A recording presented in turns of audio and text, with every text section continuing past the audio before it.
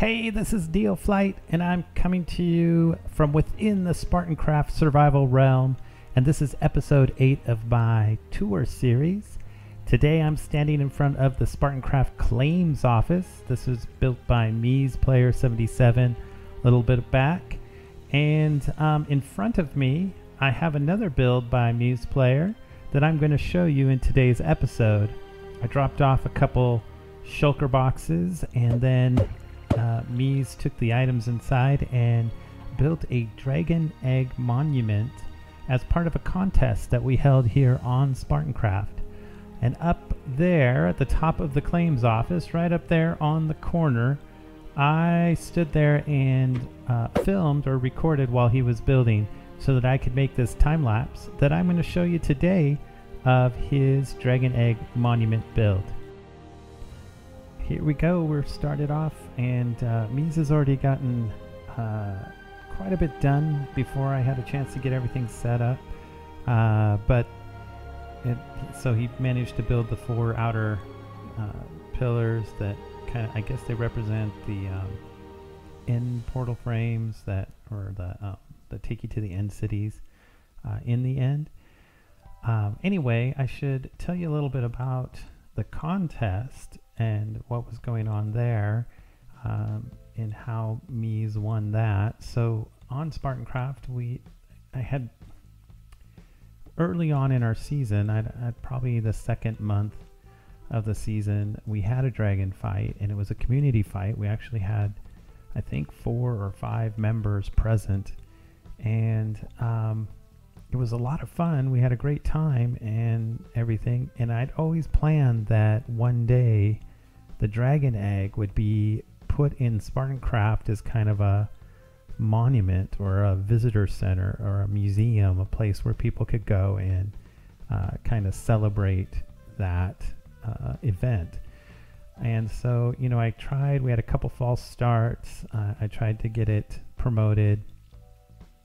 But I think, I don't know, either people were just afraid of failing or uh, I wasn't very clear about my expectations. I don't know. It, it, it could have been a number of things. But this season, with the great community members, community members that we have right now, I was uh, I was willing to take the risk again. I, I, was thinking, you know, we should do this build contest, and we were there was a little bit of a lull in, in what things in things that were going on.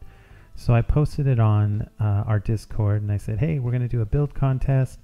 Uh, people can submit uh, pictures of something that they've built in the creative world that would be kind of a monument to the dragon egg and the battle in which the community overcame the dragon.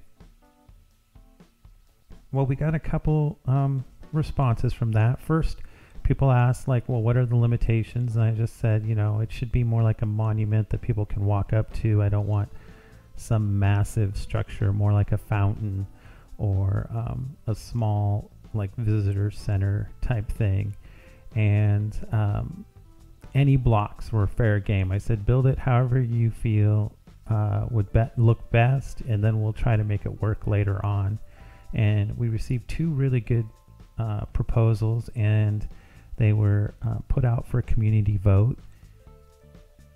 And the voting was very, very close. It was tied all the way up until the deadline uh, with this um, this version of the Dragon Egg Monument uh, winning by one vote in the end. So you can tell it was a very even race, an even match, and uh, I think I think they were both good proposals. Uh, the other one would have been more like an underground, maybe a bunker type situation where you could visit, and it, was more like a museum, uh, which I also liked. It was was really good as well. This one kind of commemorates the action of going and fighting the Ender Dragon, and you can see the um, kind of the end is represented in it. I really like how the dragon shadows are there on the ground. I guess they're kind of like bear skins a little bit. Um, and then you've got the uh, portals that take you to the end cities.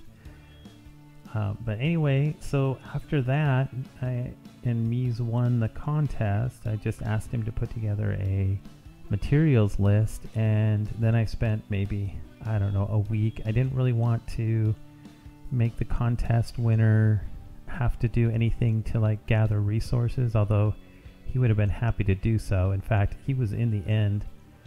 I think he was some 10,000 blocks away from uh, the center of the end to the uh, end portal gateway.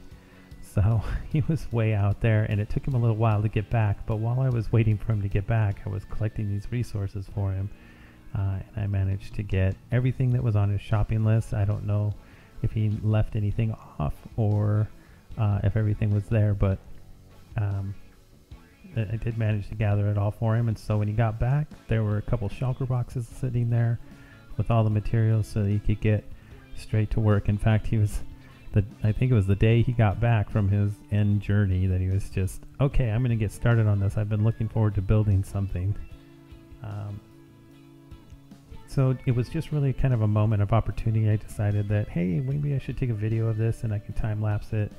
Uh, it might be interesting to see. I've not done um, this kind of a video yet, and I mean I've time lapsed things before, but not you know third person like this where we're watching something being constructed. Uh, so yeah, I would have gotten the very beginning of it, except for I had to kind of prepare an area the um, top of the claims office turns out was not uh, very well lit, so I was afraid of something spawning behind me and knocking me off uh, in the middle of the filming. People kept coming by and visiting him and, and looking at his progress as he was going. Um, and you can see he's setting up the armor stands now with the armor. Uh, gives it kind of that active scene in this one with the dragon head on it. So three dragon heads for the for the museum piece.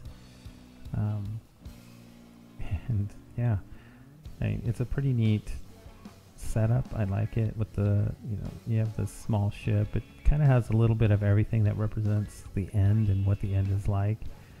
Uh, of course, at the end of it, he's uh, going to tie it into the landscape around, try to make it a little bit more uh, flow into it a little bit better. And uh, yeah, he, he did a great job, and I think he even added some more things later on after the video was over to uh, to landscape it up more. I think he put in some custom trees and things.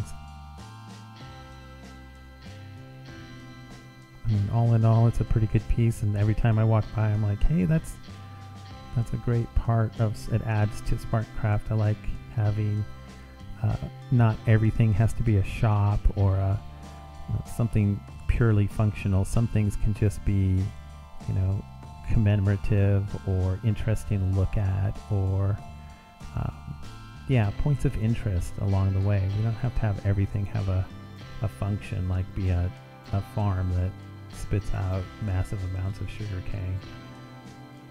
Um, I actually, some of my favorite spots are the community garden and um, the wishing well, even, and even the community chest. I mean, they're just, uh, it's not about making profits or anything.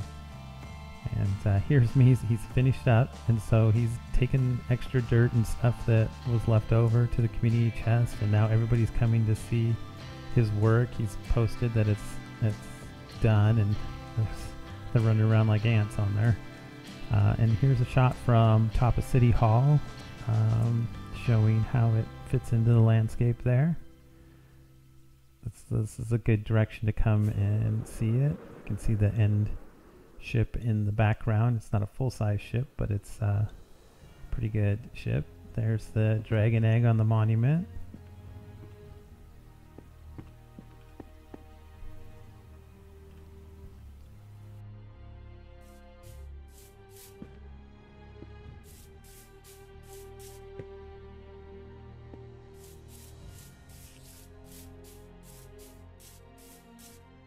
Yeah, I like. I think the overall effect is pretty good. I, I think it's it's interesting to look at from every angle and tells a good story. And there's the man himself.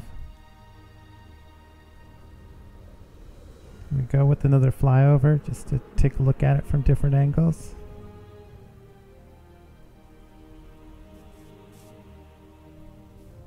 Thank you, Meez Player 77 for designing this monument and making it a reality. I really appreciate it, and I'm so glad to have you on the realm.